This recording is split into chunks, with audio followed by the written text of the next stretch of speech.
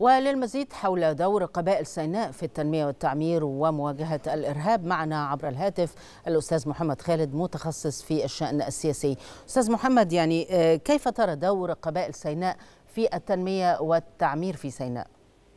أهلا وسهلا.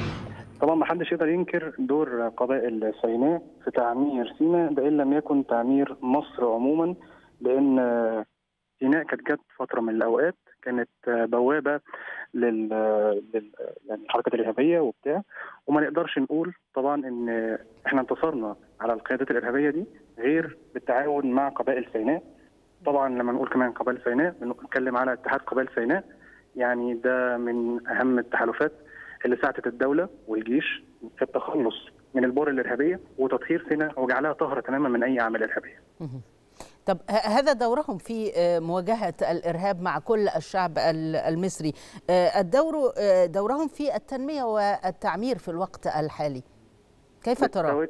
بالتوازي بالتوازي مع الحركات التخلص من الإرهاب كان الدور التنمية مهم جدا وبارز. ونقدر نقول برضو إن الحكومة ما كانتش هتقدر تطور من سيرة غير مع وجود أهل سينا نفسهم سواء من قبائل سواء كان شركاتهم أو البيزنس بتاعهم كل ده كان مهم ويشهد الوقت ويشهد عمليات التنمية اللي تمت آخر عشر سنين على الجهود اللي عملها أهل سينا واللي هم ليهم نصيب الأسد منها في تعمير المنطقة دي من مصر وجعلها مستقبلا قبلة للصناعة والزراعة ومنطقة لوجستية مهمة جدا مش بس على مستوى مصر والشرق الأوسط ده على مستوى العالم.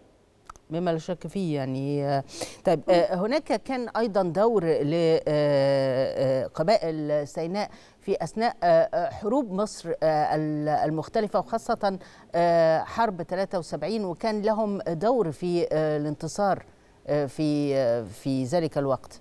ده أكيد من أول لحظة من لحظة دخول العدو المحتل في سنة 67 الشعب السيناوي والقبائل السيناوية وقفت جنبا لجنب مع الجيش والحكومة تما سواء كان بمساعدتهم زمان إن هم يكونوا مرشدين داخل الصحراء اللي ما كانش بيعرف يخشها حد غير أهلها وسواء حتى وقت الهجوم نفسه في 73 وكمية التضحية اللي قدمها شباب سينا وناس أهل سينا من أصغر صغير فيهم لأكبر شيخ من مشايخ قبائل سينا نفسهم ولحد النهارده.